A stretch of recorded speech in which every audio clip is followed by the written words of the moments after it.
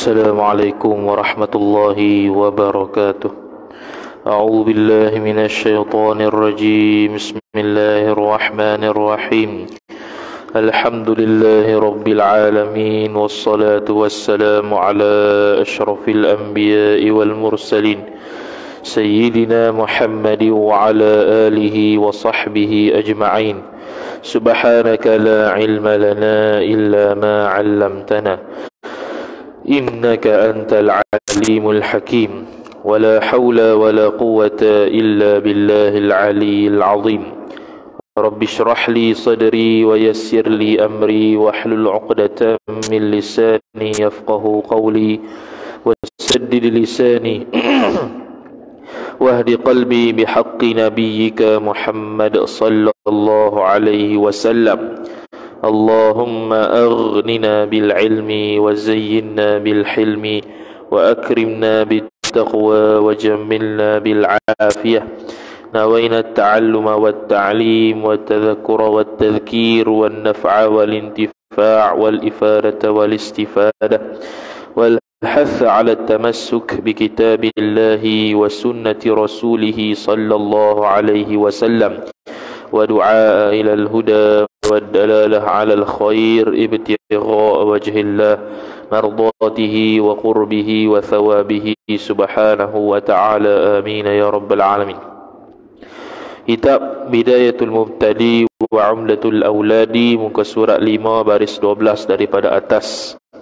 وقال الشيخ المصنف رحمه الله تعالى ونفعنا الله بعلومه وبعلومكم وبعلوم مشايخنا في الدارين آمين يا رب العالمين kata pengarang Syekh Salih Ar-Rawi Al-Jawi rahimahullah subhanahu wa ta'ala maka tatkala sampailah maka tatkala sampailah 13 tahun jadi pesuruh Allah eh, jadi pesuruh di dalam negeri Mekah maka berpindah ia ke negeri Madinah jadi masih lagi sambung dalam perbahasan akidah berkaitan dengan khusus kepada Nabi sallallahu alaihi wasallam.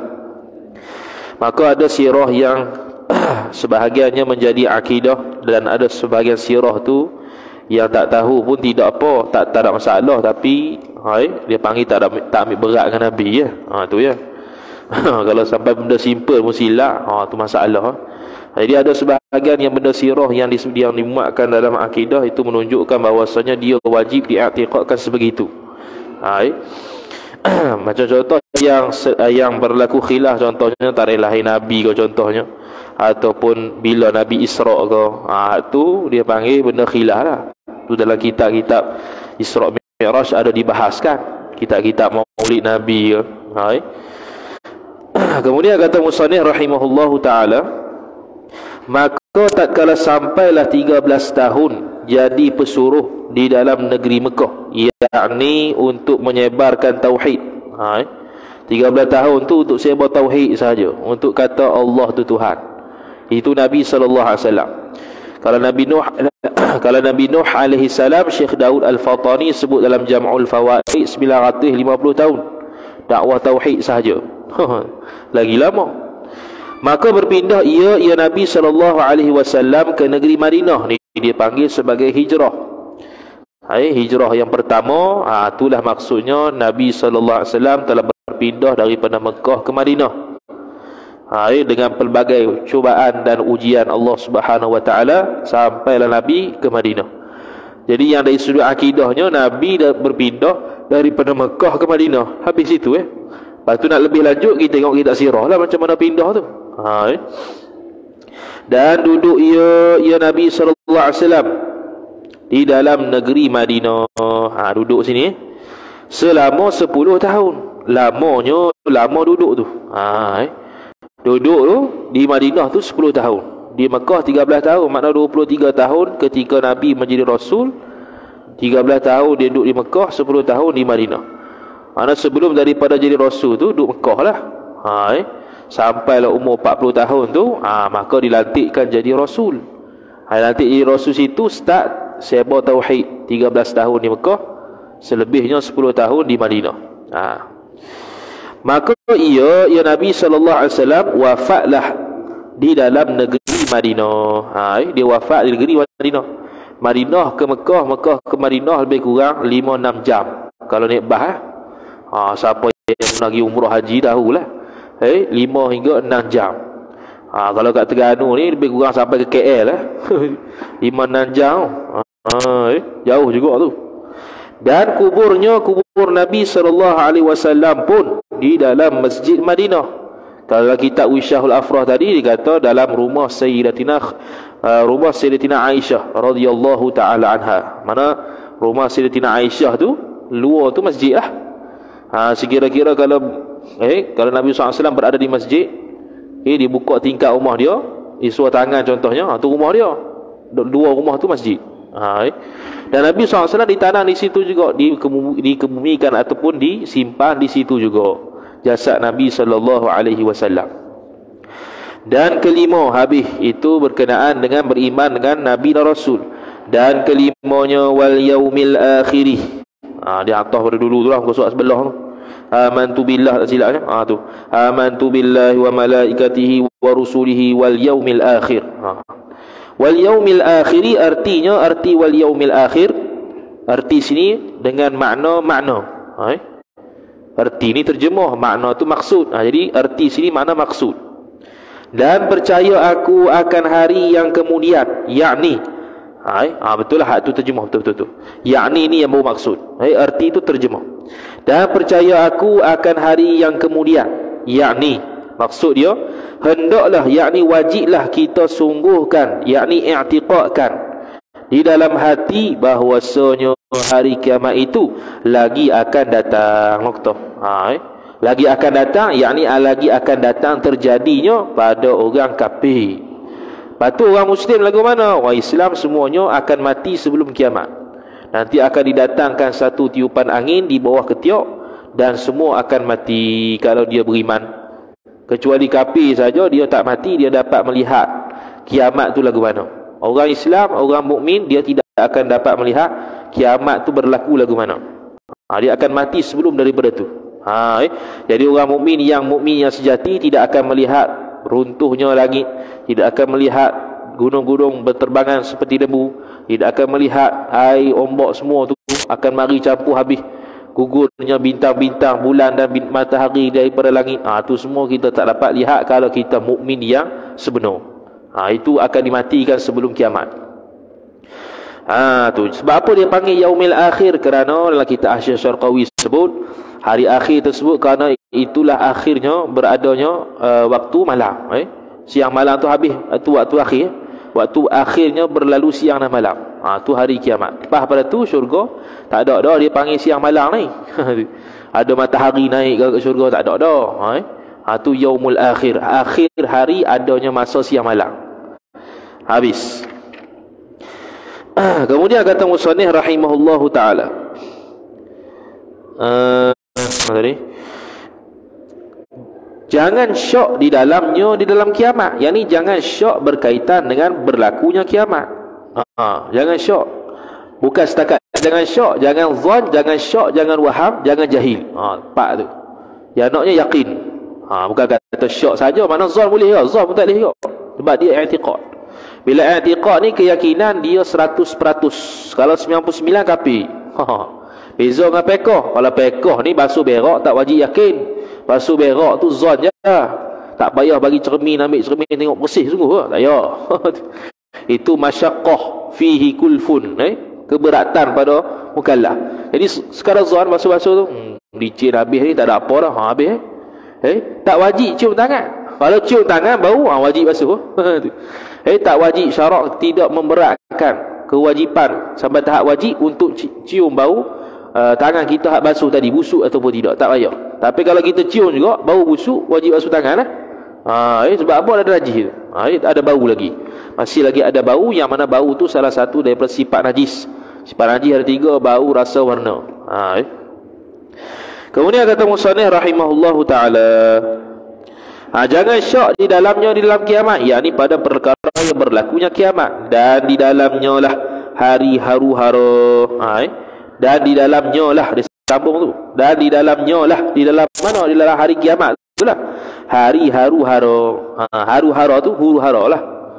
Ha, haru-huru-hara sebab tu hari kiamat ni ada banyak bahasa ataupun banyak nama. Yaumuz zalzalah hari keguncangan. Yaumul qiyamah hari kiamat. Yaumuddin hari pembalasan. Yaumu macam-macam ha, eh? ha, ni hak terkenal yaumul akhir ataupun yaumul yaumul qiyamah ya hari kiamat ataupun hari akhir. Hak tu yang terkenal lah. Haru-hara yang besar. Apa tu? Iaitu huru-hara yang besar tu. Dibangkitkan Allah taala akan segala orang yang telah mati. Kerana akan berhimpun di padang mahsyar. Noktah ha. Dia bila bangun tu bangun-bangun tu dia nak dia semua akan dihalaukan kepada mahsyar. Eh? bangun-bangun tu bangun-bangun daripada kubur lah jadi bangun daripada kubur tu khilah ulama adakah anggota yang sama atau anggota yang berbeza? Maksudnya badan yang sama atau badan yang berbeza? Syekh Zarruq Al-Syadhili rahimahullahu ta'ala sebut dalam kitab Syarah Al-Qawa'idul Aqaid mengatakan bahawasanya khilah ulama nanti kita bangun tu dalam keadaan tubuh yang baharu atau tubuh yang sama. Ha, tu khilaf. Allah Ta'ala buat baru ke ataupun Allah Ta'ala kekalkan anggota yang kita mati waktu kubur tu gitulah kita bangkit. Ha tu khilaf ulama ha eh? dan seluruh bulu-bulu kita kuku-kuku kita yang kita potong akan kembali pada kita. Akan kembali pada kita. Sebab itu dalam mazhab Syafi'i kita makruh untuk kita potong kuku dulu sebelum mandi junub kalau kita hadap so ha, sebab apa? Sebab kalau kita potong sebelum mandi hadap so maka kuku tu jadi mandi, masih lagi berhadas. Eh rambut tu masih lagi berhadas tidak lagi mandi jadi nanti di akhirat kita akan dikembalikan kuku dan bulu-bulu yang kita potong di dunia tu akan kembali pada kita. Jadi ulama tak mau bahawasanya kita akan kembali kuku dan rambut tersebut atau bulu tersebut dalam keadaan berjarabah. Belum lagi suci. Ha, itu saja. Tak jadi apa pun dia panggil, dia panggil makruh saja. Ha, tak haram. Dia panggil makruh. Makruh untuk potong kuku ataupun potong bulu-bulu yang di badan sebelum mandi wajib kalau dia berjunub. Ha, maka dikira-kira yakni dihisapkan akan segala mereka itu mereka itu makhluk. Siapa yang akan dihisap? Ahlu thaqalain iaitu jin dan manusia. Ha, itu saja yang mukallaf.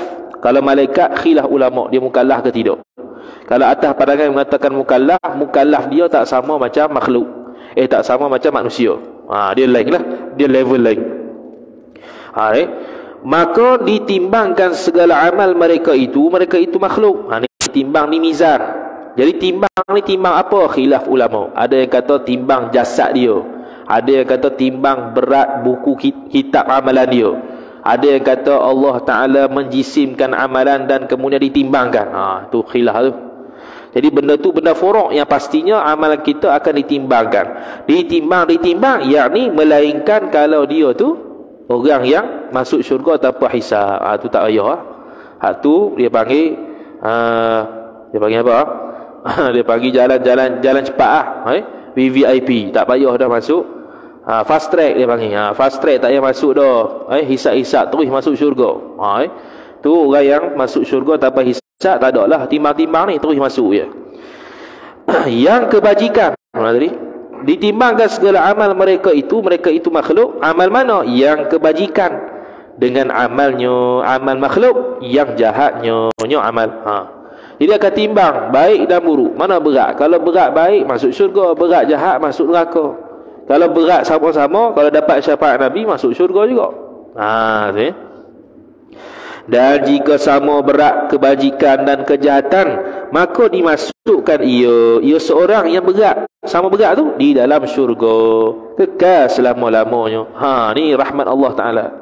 Walaupun dosa banyak dah sama macam kebajikan, sama macam amal kebajikan, tapi masuk syurga juga. Masuk syurga kerana apa? Kita masuk syurga kerana rahmat Allah, masuk neraka kerana keadilan Allah. Ha, eh? ha, jangan kata masuk syurga itu kerana amalan kita sendiri. Ha, jangan nanti berasa lain. Eh? Nanti berasa riak lah, aku ni banyak ibadat ni. Ha, padahal riak di sisi Allah Ta'ala kosong ibadat. Eh? Jadi tak ada apa. Eh? Kita masuk syurga apa apa sebab dapat rahmat Allah Taala. Ha, kita nak kejar rahmat dari Allah tu yang kita sembahyang, puasa, baca Quran dan sebagainya tu. Ha, tu untuk kejar rahmat Allah Taala. Dan barang siapa berbuat amal yang jahat, maka dimasukkan ia ia barang siapa yang buat amal yang jahat tu ke dalam neraka. Yakni kalau tidak diampuni Allah. Ha, kena taklid sebegitu. Kalau ampun oleh Allah Taala, jahatlah macam tahid sekalipun, kalau dia Allah Ta'ala ampun, ampun lah. Walaupun dia tak minta taubat sekalipun.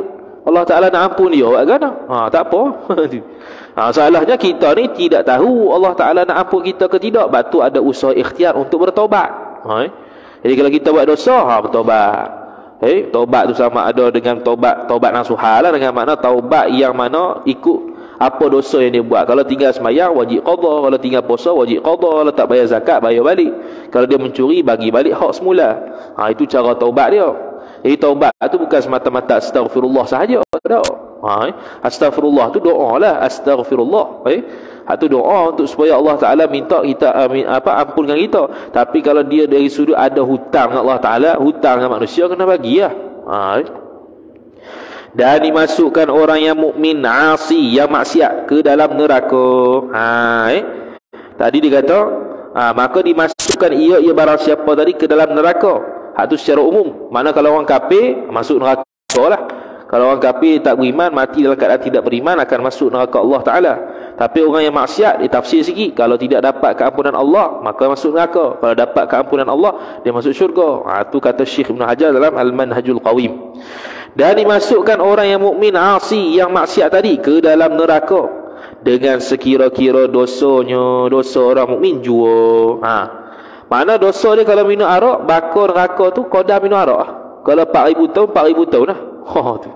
Eh, kalau 400 juta tahun 400 juta tahun lah lepas tu lepas 400 juta tahun masuk syurga balik jadi lagi banyak dosa lagi lama neraka kalau Allah Taala tidak ampun Ha, eh, tapi kalau syurga masuk syurga dah tak ada dah tempoh-tempoh masa terus kekal selama-lamanya.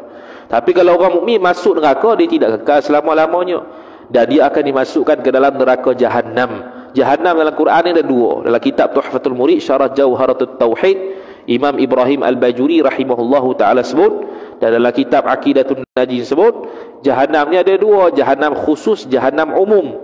Jahanam umum ni kalau ada sebut dalam Quran jahanam juga. Tapi jahanam itu secara umum dengan makna orang kafir pun masuk jahanam orang orang Islam yang asi yang maksiat pun masuk neraka. Eh masuk jahanam jahanam situ makna neraka secara umum. Kalau neraka kalau jahanam secara khusus ialah neraka untuk orang Islam yang bermaksiat sahaja. Dengan makna nanti mereka akan semua semua akan keluar daripada neraka jahanam tu masuk ke dalam syurga Allah Taala maka neraka jahanam yang khusus tu tak ada faham pada tu. Ha, eh? tinggallah yang baki enam neraka tu itu kekal selama-lamanya kerana enam-enam tu ialah neraka untuk orang kafir belaka. Ha, eh? kemudian tiada kekal di dalamnya di dalam neraka. Ha, mereka ni tak kekal neraka. Bakar bakar kodar dosa dan tidak kekal di dalam neraka selama-lama. Yang kekalnya kafir sahaja. Dan dimasukkan segala orang yang kafir. Ha, satu lagi orang yang mukmin yang asi ni dia akan minum telaga haud Nabi sallallahu alaihi wasallam. Maka bila dia masuk neraka dia tidak akan dahaga dalam neraka dan neraka tidak akan membakar eh kesan ataupun tempat laluan uh, air telaga haud Nabi sallallahu alaihi wasallam. Sampailah masuk syurga. Ada pun orang kafir, ha, dia akan berasa dahaga maka akan diberikan kepada dia air yang sangat panas. Akan diberikan makanan-makanan yang berduri yang ya apa yang apa nama yang daripada api neraka. Ha tu untuk orang kafir. Ha untuk orang Islam ni yang mukmin eh, yang yang asi dia special sikit. Ha tu. Walaupun walaupun begitu kena bakar jugalah. Ha sakitlah juga tu. Dan dimasukkan segala orang kafir dan musyrik ke dalam neraka kekal selama-lamanya. Ha orang kafir dan musyrik. Apa ada kata kafir dan musyrik? Ha. Sebab orang musyrik kafir. Orang kafir tak mesti musyrik. Ha eh? musyrik apa dia mensyirikkan Allah taala. Satu kafir tak? Kafir. Tapi orang kafir tak mesti melalui syirik. Eh? Kadang-kadang dia lempar Quran. Ha itu itu kafir tak syirik. Syirik ni mensyirikkan Allah Ta'ala. Dia menduakan Allah Ta'ala. Dia sembah selain Allah Ta'ala. Dia mengiktiraf Tuhan selain Allah. Itu syirik lah tapi kalau kafir ni tak mesti syirik. Ha, eh, lempar Quran sengaja. Syirik? Eh syirik pula kafir ha, eh. itu kafir dari sudut perbuatan. Menghina Quran itu kafir itu bukan syirik. Ha, jadi musyrik dan kafir mati dalam keadaan dua ni maka kekal ke dalam neraka Allah Subhanahu Wa Ta'ala. Dan keenamnya habis berkaitan dengan kiamat. Dan keenamnya wal qadari khairihi wa syarrihi min Allah ay amantu bil amantu bil qadari khairihi wa syarrihi min Allah taala. Artinya dan percaya aku akan untung baik dan untung jahat itu daripada Allah Subhanahu wa taala. Ha. Untung baik untung jahat ni apa dia? Ha eh? jahat pun ada untung ke? Mana takdir? Eh? takdir baik dan takdir jahat tu daripada Allah Ta'ala. Ini ahli sunnah wal jamaah nisbah cakapan kita kata yang baik daripada Allah yang buruk daripada saya sendiri ha, tu cakapan adab Hai dari sudut i'tiqad semuanya baik buruk dosa pahala Allah Taala belaka. Ha eh. Ha tu beza dengan Mu'tazilah. Mu'tazilah kata tak boleh Allah Taala buat ataupun Allah Taala kehendak dosa dan maksiat. Kerana itu benda yang keji. Kalau dengan dosa apa kalau dengan dosa dengan maksiat itu eh, kalau seorang itu taat pada Allah Taala, Allah Taala masukkan ke dalam neraka, dia kata Allah Taala zalim. Jadi istilah ahli sunnah tidak ada istilah zalim. Karena zalim tu bermaksud mengambil hak orang lain. Jadi kita ni tak ada hak diri kita ni, tubuh badan kita, mata kita, telinga kita, mulut kita, semua hak Allah Taala. Jadi nak Allah Taala nak takdirkan kita masuk syurga ke neraka ke, tak ada istilah zalim bagi Tuhan. Ha, eh? Kalau ada istilah zalim bagi Tuhan, pertama dia tu silap. Yang kedua tu i'tiqad Mu'tazilah. Tak boleh zalim di Tuhan, betul dah. Tapi di nisbah zalim di Tuhan, tak boleh Allah Taala zalim. Kita ahli sunnah tak ada kaitan langsung Allah Taala dengan zalim. Baik, bukannya bukannya kita nafikan Allah Taala zalim, bahkan tak ada kaitan langsung Allah Taala dengan zalim. Ha, eh? Tapi Mu'tazilah kata kalau Allah Taala memasukkan orang yang taat ke dalam neraka, dia kata Allah Taala zalim. Ha, eh? ataupun Allah Taala mentakdirkan perkara yang maksiat yang dosa pada dia Allah Taala zalim ha itu dia kata itu mu'tazilah jadi ahli sunnah bukan begitu ha eh? ahli sunnah tidak boleh dan tidak layak untuk nisbahkan zalim pada Allah sama ada pada perbuatan dan sebagainya. Yakni hendaklah ni maksud dia hendaklah kita sungguhkan di dalam hati bahawa kufur dan maksiat dan iman dan taat. Aduh dia punya dia punya apa? Gu dia tu eh? Iman dengan kufur maksiat dengan taat. Itu adalah sekalian itu eh, apa zalim lah kufur maksiat iman dan taat tu sudah ditakdirkan Allah taala pada azalinya azalinya Allah taala. Eh? Pada waktu azali. Ha, dia azali ni Sebenarnya tak ada nisbah waktu Tapi disebabkan tak tahu bahasa apa yang kita nak gunakan lagi Untuk membezakan antara waktu azali dengan waktu yang bukan azali Kita pun sebut waktu azali Sebenarnya azali tak ada waktu Azali tiada waktu Yang ada waktu dia panggil Ma la yazalu ha, Sekarang ni dia panggil masa Ma la yazal Masa yang berterusan Hak ni yang ada waktu Adapun waktu azali dia tak ada waktu cuma kita sebut waktu kerana nak membezakan antara azali yang tak ada waktu dan yang bukan azali yang ada waktu. Ha tu. Eh? Maka mana-mana yang sudah ditakdirkan, mana-mana yang sudah takdirkan, yakni mana-mana daripada kufur, maksiat, iman dan taat tu. Yang sudah takdirkan Allah, yakni takdirkan oleh Allah pada azalnya itu, maka adalah ia. Ia yang ditakdir itu pada sekarang ini. Yakni adalah maka adalah yakni adalah berlaku ia ia yang ditakdirkan Allah tu pada sekarang ini. Noktah ha maka berlaku sekarang ni sekarang ni yang berlaku daripada maksiat daripada taat daripada kafir daripada iman. Mana ni? Mari ni. Sejak daripada azali Allah Taala kehendak dah. Apa yang akan berlaku daripada start ada makhluk sampai bila-bila? Allah Taala kehendak dah. Ha eh? bila kata Allah Taala dah kehendak dah maka Allah Taala dah tahu sejak azali apa yang berlaku Maka tidak betul kalau orang kata Allah Ta'ala boleh saja berkehendak bila-bila masa tukar-tukar. Tak boleh. tak boleh kata gitu. Kalau orang belajar sifat dobro, dia akan faham. Kata Allah Subhanahu Wa Ta'ala berkehendak sejak azali. Sejak azali dah kehendak. Dari start cipta makhluk jadi apa sampai kiamat. Eh? Jadi tak ada istilah Allah Ta'ala boleh tukar-tukar kehendak dia waktu sekarang. Tak boleh. Kalau begitu, makna kita akan kata Allah Ta'ala jahil. Sebab apa jahil? Sebab kehendak Allah dengan ilmu Tuhan dia berkait rapat. Allah Ta'ala mengetahui sejak azali apa yang berlaku. Kalau Allah Ta'ala berubah kehendak dia sekarang, seolah-olah dulu Allah tak tahu. Eh, oh jadi gini punya. Ah, jadi jahil Tuhan. eh, dia kehendak, kehendak kita, contoh kalau kita, kehendak kita berubah sebab apa? Sebab baru tahu. Ha, contohnya kalau kita ni tak tahu Milo Ais. Eh, ada kehendak nak buat Milo Ais? Tak ada. Sebab apa? Tak tahu. Baru tahu semalam, oh minuman milu air. Ha aku pun nak buat ah. Ha baru tahu. Baru dia buat. Kalau dia tak tahu dia tak buat. Eh? Jadi kalau Allah Taala itu kehendak dia berubah sekarang, makna dulu Allah tak tahu bahawasanya dia akan buat sebegitu yang menyebabkan Allah kehendak lain. Ha tak boleh itu. Ha, eh? jadi kehendak Tuhan kalau kita kata berubah, automatik kita akan kata ilmu Tuhan pun berubah juga. Jadi ilmu Tuhan kalau berubah jahil Tuhan tu. Dulu tak tahu, sekarang baru tahu loh dia ibadat gini ke aku. Aku pun tambah umur, baru tambah umur. Eh tak? Sejak dulu lagi Allah Ta'ala dah, dah, berkendak Dia akan tambah umur sebab ibadat Dia akan tambah umur sebab sedekah Dia akan tambah umur sebab gini Dia akan mati sekian-sekian Walau bagaimanapun ha, Sejak azali lah ha, tu, eh? Maka kata Musanih rahimahullahu ta'ala Bermula kesempurnaan itu ha, eh? Bermula kesempurnaan. Dia ada tu. Bermula kesempurnaannya kesempurnaan iman itu. Tiga perkara. Ha ni kesempurnaan. Tadi iman. Iman tu mana kalau ada tu ada dah tiang dia. Tapi nak sempurna tiang ni tiga benda. Ha eh. Apa dia? Pertama diikrarkan dengan lidah. Ha dengan makna tiga perkara ni untuk menyempurnakan iman. Dengan makna terjadinya iman yang sempurna. Ha, eh mana kadang-kadang ada iman tapi tak sempurna Ha, sekali kita kita tengok tiga ni. Okey, tiga. Pertamanya apa? Pertamanya diikrarkan, yakni mengaku dengan lidah. Mengaku dengan lidah ni apa dia? Mengucap syahadah. Ha, eh? Ucap syahadah lah mudahnya. Asyhadu an la ilaha illallah wa asyhadu anna Muhammadar Rasulullah. Itu dia mengakui bahawasanya Allah Tuhan, Muhammad Rasul. Okey, itu mengaku. Okey, ada ada orang tu beriman tapi dia tak mengucap tak mengucap syahadah. Ada, ada.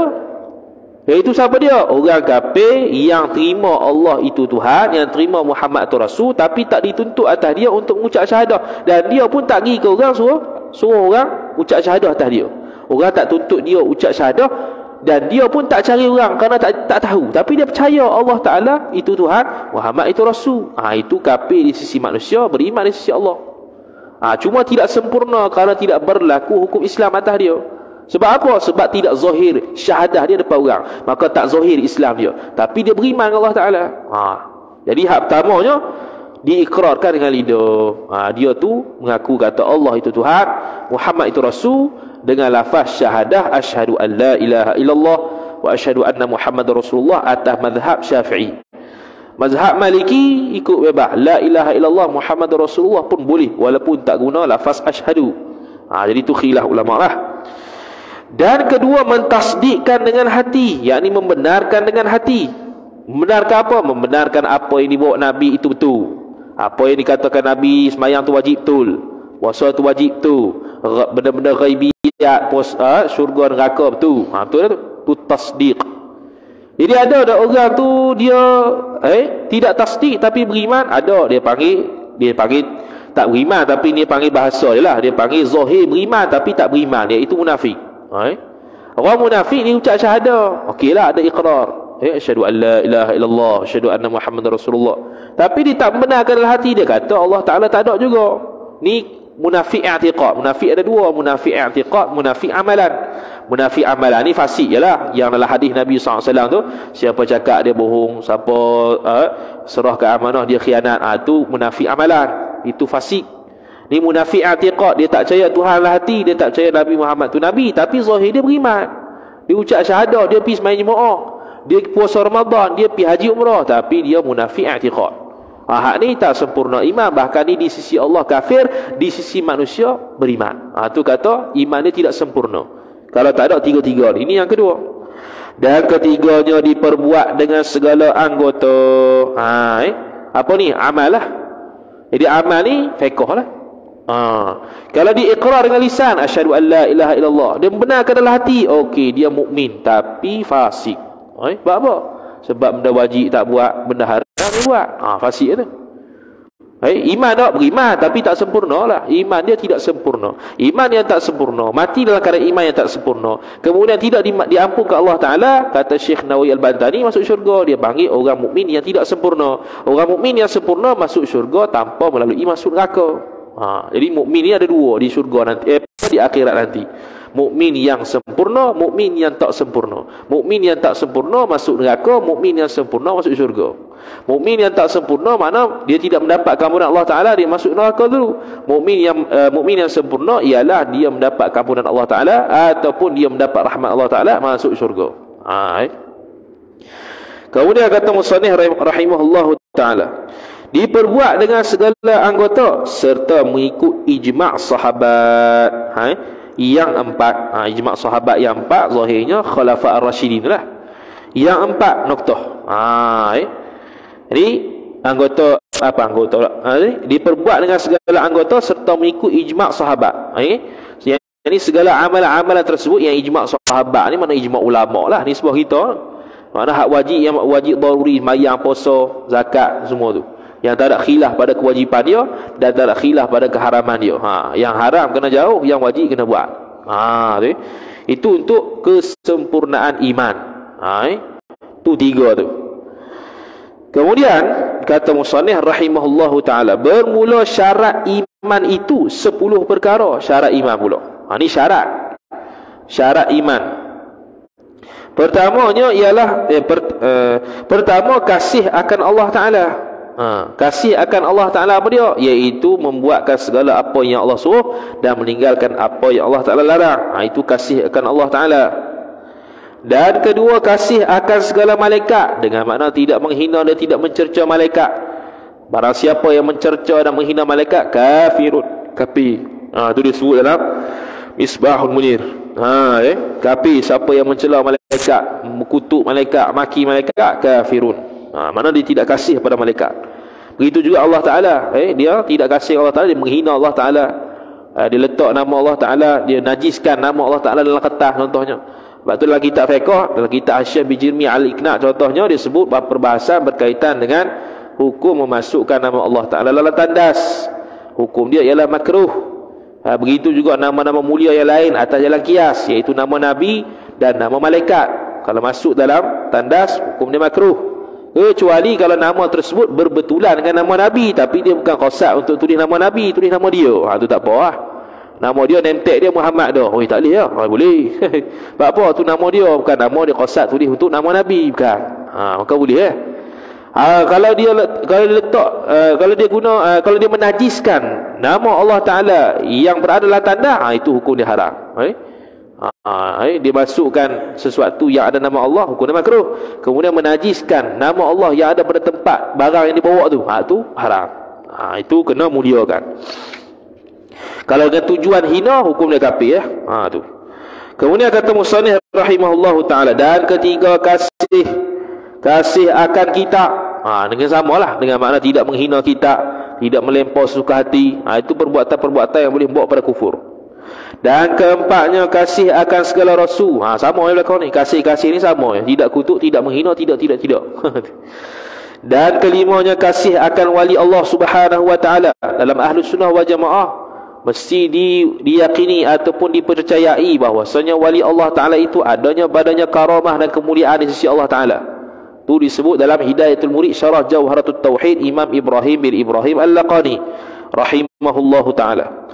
Dan keenamnya ha, ha, benci akan seteru Allah. Ha, benci akan musuh Allah Ta'ala. Jangan sayang pula. Sebab itu dalam kitab penawar bagi hati Syekh Abdul Qadir Al-Mandini rahimahullah ta'ala sebut antara perkara yang wajib marah ialah apabila perang orang kafir. Sebab kalau kita tak marah waktu tu nak bunuh kesian. Eh kafir itu kafir harbi yang mesti diperangi. Waktu tu kita dalam perang pula. Kalau lari hukum dia haram. Maka kita nak bunuh lagu mana jadi bunuh ni mesti kena ada perasaan marah Maka ketika itu wajib marah sebab kita wajib kita wajib bunuh dia tu ketika tu waktu perang perang dengan kafir Harbi tu. Tak boleh ada sifat kasih sayang. Tidak boleh ada sifat kesian melainkan kalau dia masuk Islam. Ha tu lain cerita lah. Ha ni perang kafir Harbi, Harbi ni iaitu orang yang memusuhi Islam dan menentang Islam secara terang-terangan. Jadi kita mesti marah dan mesti bunuh dia. Ha eh? kalau sampai tahap pengisytiharan untuk bunuh dan ketujuhnya takut akan azab Allah Ta'ala. Kerana kalau tidak takut dengan azab Allah Ta'ala dia akan buat dosa. Ha, ini dia panggil khawf kalau istilah tasawuf kalau rojak dia mendapat dia dia mengharapkan rahmat Allah Ta'ala. Itu kalau rojak. Kalau khawf takut dengan Allah eh, takut dengan azab Allah Ta'ala. Ha, eh. dan kedulapannya harap akan rahmat Allah. Ha, ini ar-rajak eh? dan kesembilannya membesarkan akan segala amarah amarah. Amarah Allah. Amarah ni perintah. Eh? amarah ni perintah. Ha, membesarkan mentazimkan menghormati tidak menghardik tidak menghina. Apa mayang lima waktu? Ha, ha? ha eh? tidak menghina dan tidak menghardik tidak mencaci maki bahkan mentazimkan membesarkan menghormati syariat Tuhan. Hatta poligami sekalipun menghormati syariat Tuhan Oh ini poligami oh dia buat lebih kurang kali. tak setuju lain cerita tapi itu syariat Tuhan tidak boleh kalau dia berkait dengan iman. Ha, eh?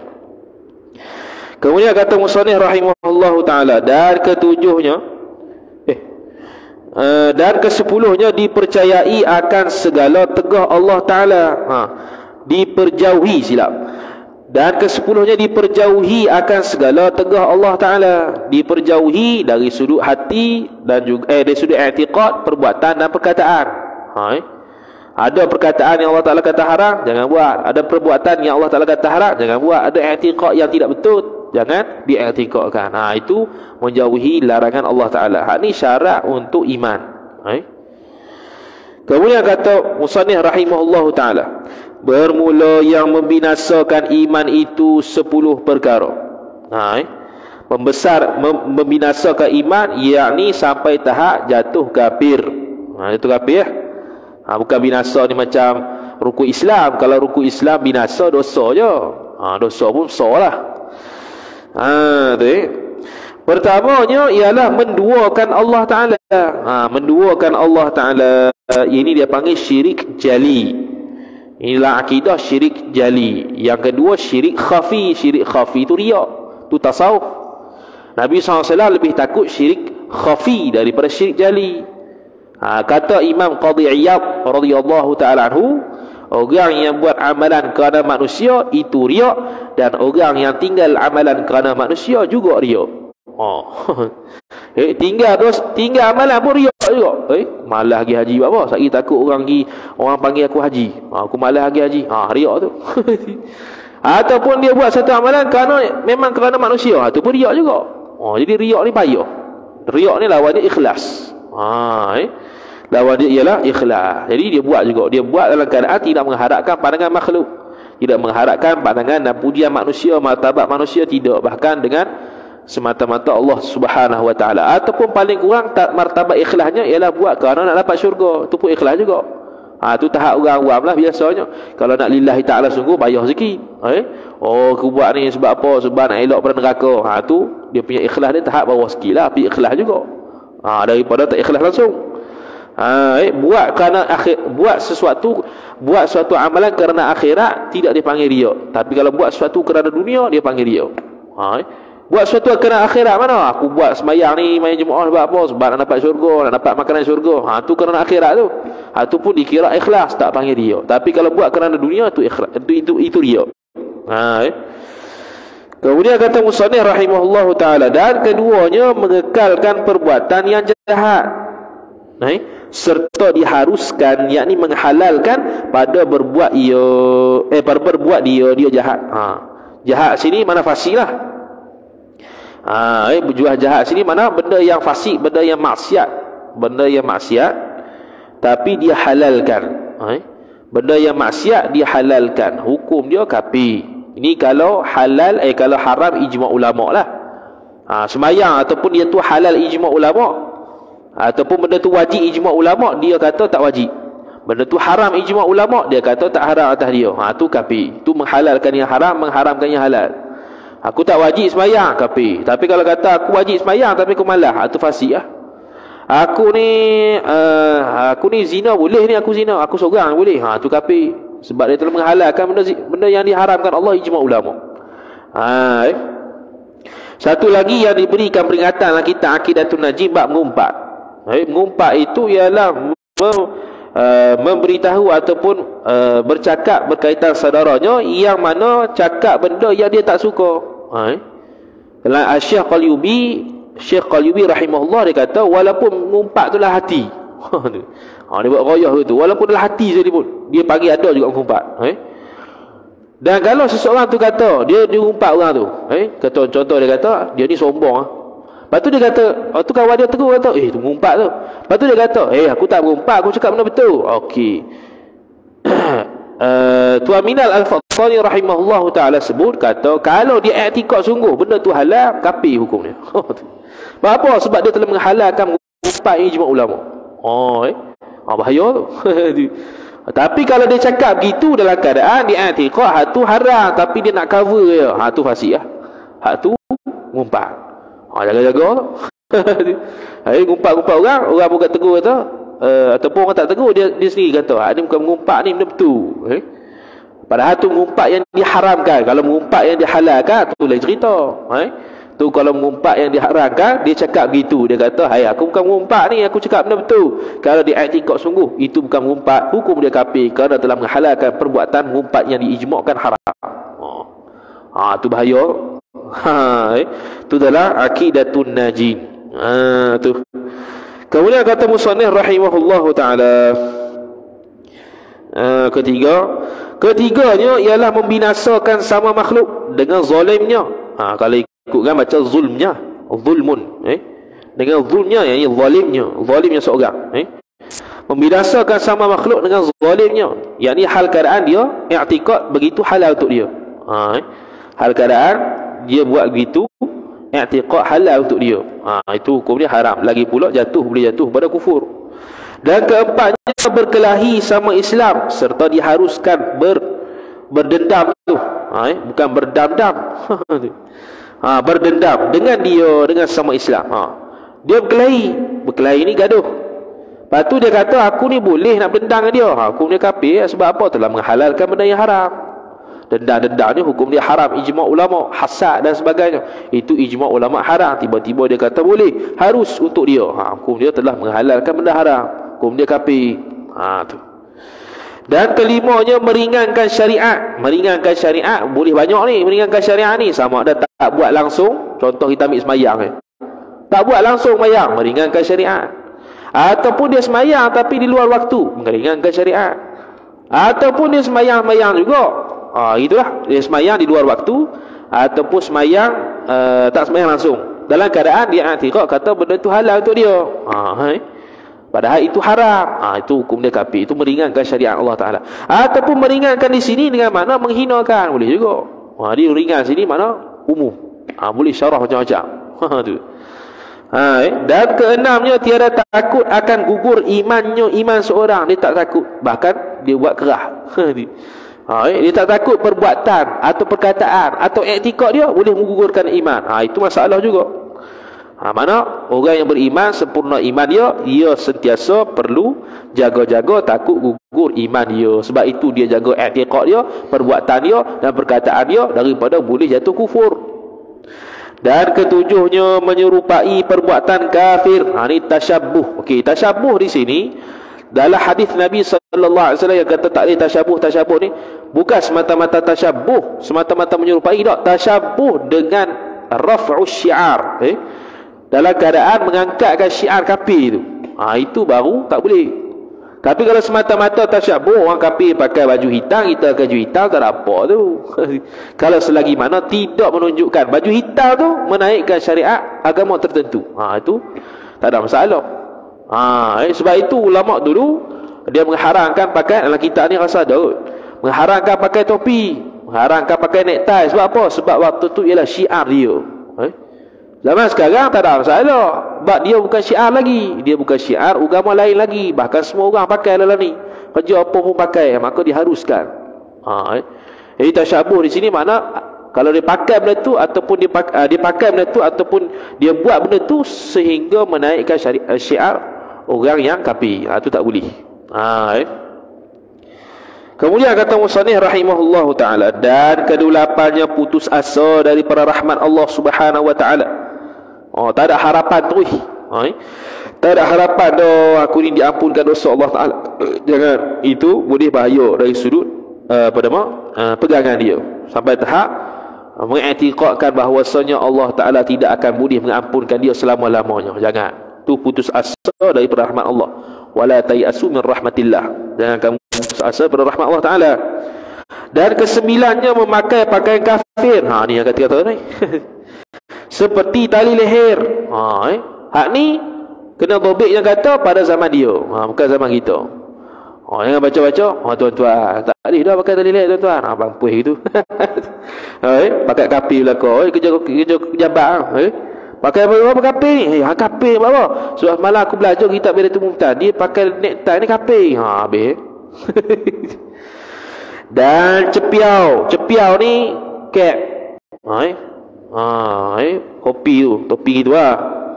Topi sudu. Ha, eh. Oh, sini panggil topi sudu. Ni cepiau. Bukan ketiau ha, Cepiau ha, baca, baca gitu lah Memang baca gitu pun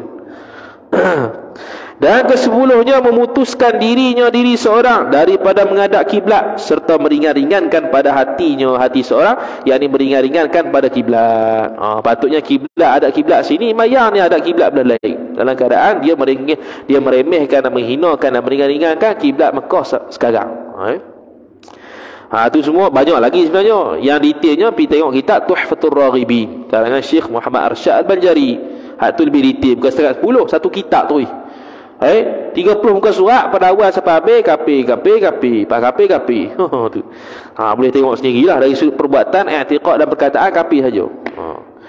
Habis itu rukun iman. Faslun ai hadza faslun. Ini satu fasal. Fasal lain pula pada menyatakan Islam. Ha ni nak masuk bekoh ni. Ha ni dia panggil seolah-olah nak masuk bekoh. Dia mari ruku Islam dulu. Pada menyatakan ruku Islam. Kerana apa? Kerana ruku iman itu hakiki. Semat, se, se, sekira-kira kalau tak ada salah satu kafir. Tapi kalau ruku Islam tak ada salah satu fasik. Dia tidak kafir lagi kecuali dia menghalalkan benda tu tak buat. Dia tak buat benda tu pun tak apa. Dia menghalalkan diri dia tidak buat perkara yang wajib. Ah ha, tu baru kafir. Ha, eh. Rukuk Islam bermula makna Islam itu iaitu iaitu makna Islam menjunjung segala titah Allah Subhanahu wa taala. Titah ni perintah. Ha titah raja, mana perintah raja. Ha, eh? Dan menjauhi segala larangannya larangan Allah Subhanahu wa taala. Dalam masa yang sama ni makna takwa. Ha eh? ni makna makna takwa.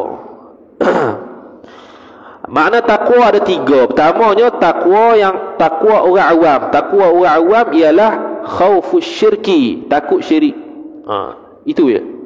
Mana kalau mencuri, kalau orang kita bagi kan mencuri, weh, semua tokoh eh tak mau, eh syirik. Ha, dia takut syirik tu. Eh takwa tu. Takwa tahap pertama. Takwa orang awam, takut syirik. Takwa kedua imtithalul awamiri wajtinabu nawahihi. Ha ni ya. Iaitu menjauhi larangan dia dan melakukan segala perbuatan Allah Taala suruh itu takwa khas tu yang kedua takwa yang ketiga khawasul khawas iaitu takwa dengan mana tidak ada dalam hati dia selain daripada Allah Subhanahu wa taala. Ataupun melaksanakan sesuatu perbuatan tidak ada tujuan lain melainkan Allah Subhanahu wa taala. Itu yang ketiga. Ha tu takwa yang ketiga. Mana diri dia setiap ingatan dia setiap saat Allah saja. Tidak ada benda lain. Ha tu takwa yang ketiga atas kali. Ha, itu biasanya dalam kitab tasawuf lah dibahas yang atas tu. Kitab tasawuf hakikat. Kemudian kata Musannih rahimahullah subhanahu wa ta'ala. Maka dalil yang mewajibkan Islam itu, iaitu wajib dalil. Firman Allah ta'ala. Fa'in aslamu faqadih tadaw. Aslama yuslimu islaman. Ha, aslamu. Artinya, arti firman Allah ta'ala, jika masuk Islam mereka itu, mereka itu Yahudi dan Nasrani. Ha, khitab dia tujuan dia uh, cakap ni kepada wa ahlul kitab ahlul kitab ni dua sahaja Yahudi dan Nasrani ha, kita dah sebut dalam minggu lepas orang yang bukan ahli kitab dia panggil ummiyin Hai, Syekh Jalaluddin Asyuti rahimahullah taala mentafsirkan ayat Quran yang disebutkan ummiyin sebagai orang yang bukan ahli kitab. Hai. Mana majusi, majusi bukan ahli kitab, dia ummiyin, orang yang buta. Hai. Buta dari sudut panduan agama dia buta sebab tidak ada kitab. Hai. Kemudian kata Musannif rahimahullah taala Maka sonya beroleh hidayah mereka itu Mereka itu orang Yahudi Nasrani Yang ni kalau masuk Islam. Ha, Akan diperoleh hidayah. Hidayah ni sekadar petunjuk. Orang yang mendapat taufik pasti dapat hidayah Tapi tak mesti orang dapat hidayah. Eh tak mesti orang dapat taufik. Eh orang yang dapat taufik mesti dapat hidayah Tak mesti orang dapat hidayah dapat taufik ha, Kerana taufik ni khalqul qudrati li ta'ah Allah Ta'ala menciptakan kudrat untuk dia buat baik Bila dia buat baik sungguh Dapat hidayah, dapat hidayah tu Tapi orang yang dapat hidayah belum tentu dapat taufik Dia tahu ada majlis ilmu Belum tentu dia pergi Ha, dia tahu tu hidayah lah. Tapi belum tentu dia pergi. Tapi kalau dia pergi sungguh, makna dia ada taufik dan hidayah. Ha, eh.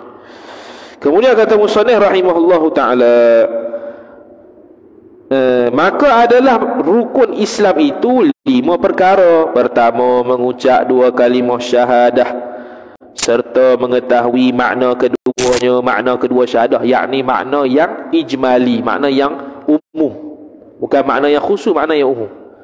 Ha, makna yang khusus, Tauhid sifat 20. Ha, tu khusus tu. Daripada awal contoh kitab Misbah Al-Munir, daripada awal sampai habis, ha, tu untuk asyhadu an la ilaha illallah wa asyhadu anna Muhammad Rasulullah sahaja. Ha, eh. Tapi secara umum, iaitu amantu billah wa bi rasulihi wa ma qala Allah wa, qala rasul. Ha, tu yang umum. Hai, aku beriman kepada Allah dan Rasul dan apa yang diucapkan oleh Allah dan Rasul. Ha, tu habis eh. Tu untuk orang kafir. Nak masuk Islam. Ha, eh? Dia kena tahu hak tu. Sebab tu kita terjemahkan asyhadu Allah tu kenapa? Ha, eh? supaya dia tahu apa makna dia. Ha, eh? Dan kedua, jadi kalau uh, ucap syahadah tu dia syarat-syarat dia lah. Pertamanya kena ada lafaz asyhadu tu. Kemudian ikut tertib asyhadu an la ilaha illallah wa asyhadu anna muhammadar rasulullah. Tak boleh terbalik asyhadu anna muhammadar rasulullah asyhadu an la ilaha illallah tak boleh. Yang kedua mualat kena berturut-turut tak boleh asyhadu an la ilaha illallah. Makan nasi lepas tu asyhadu anna muhammad rasulullah. Tak boleh. Tak sah. Ha eh habis. Dan keduanya mendirikan sembahyang. Mendirikan sembahyang lima waktu. Mendirikan sini makna menunaikan segala rukun dan syarat dan ikhlas ha Ha, mendirikan di sini mana dia mendirikan rukun-rukun sembahyang, syarat-syarat sah sembahyang dan juga dia ikhlas ha, baru terima sembahyang itu.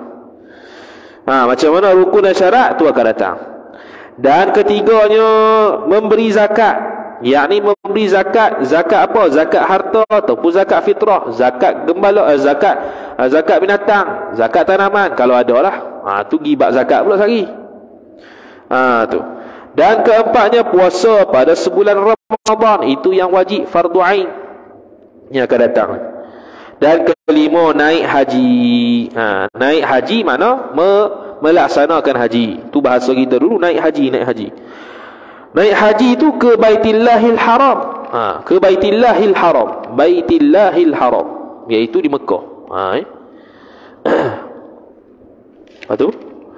Bagi seorang yang kuasa. Ha, wajib itu bagi orang yang kuasa kepada juga kepada Baitullah. Iaitu kuasa ni dari sudut kesihatan, dari sudut ada kenderaan, dari sudut ada harta, dari sudut tinggal nafkah kepada anak bini kalau dia nak tinggal. Ha. Kalau tidak, tidak dikira sebagai berkemampuan. Ha. Berjalan. Ha, oh, oh tu dia kata dah. Seorang yang kuasa kepadanya kepada Baitullah berjalan. Bukan makna berjalan saja. Berjalan di sini makna ada kenderaan. Bukan setakat kenderaan tapi ada harta. Bukan setakat ada harta, sihat tubuh badan yang diakui oleh doktor. Supaya ha, tidak jadi masalah dan juga aman dalam perjalanan. Tidak ada peperangan di tengah-tengah jalan. Ha, mana dia, dia panggil orang yang wajib naik haji. Ha, tu.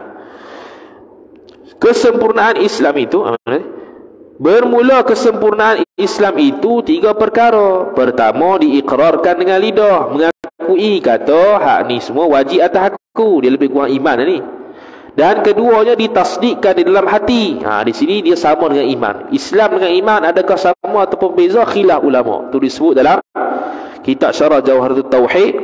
Ha, ada yang kata sama, ada yang kata beza. Ha, eh? ha, ini lebih kurang sama ni. Tadi pun ikrar juga. Ha, tu. Dan ketiganya diperbuatkan dengan segala anggota serta ijma' sahabat. Ha, ini, ber, ini bermaksud kesempurnaan iman Islam tu, Islam dan iman tu sama menurut pandangan musannif. Ha, eh? Menurut pandangan musannif sama. Ini pandangan Asy'ariyah. Pandangan Maturidiyah dia kata beza. Ada dalil dia lah. Tu disebut dalam kitab Al-Mukhtasarul Mufid Syarah Jawharatut Tauhid oleh Syekh uh, apa nama? uh, Nuh Qudah hafizahu uh, rahimahullahu taala. Yang empat habis. Bermula tanda Islam itu. Wallahu a'lam. Wa sallallahu wasallam ala sayyidina Muhammad Wa ala alihi wa sahbihi wa baraka wa sallam A'udhu billahi minasyaitanir rajim Bismillahirrahmanirrahim. Alhamdulillahi rabbil alamin. Wassalatu wassalamu ala ashrafil anbiya wal mursalin. Sayyidina Muhammad wa ala alihi wa sahbihi ajma'in اللهم زدنا علما وارزقنا فهما اللهم زدنا علما وارزقنا فهما اللهم زدنا علما وارزقنا فهما وصلى الله وسلم على سيدنا محمد وعلى آله وصحبه وبارك وسلم والحمد لله رب العالمين والسلام عليكم ورحمة الله وبركاته